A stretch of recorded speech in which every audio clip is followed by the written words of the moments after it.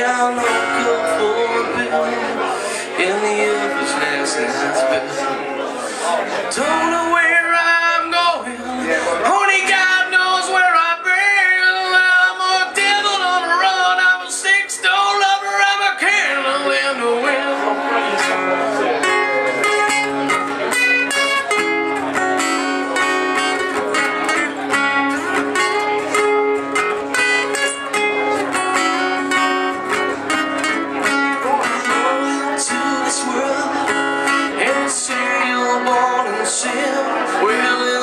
make you a.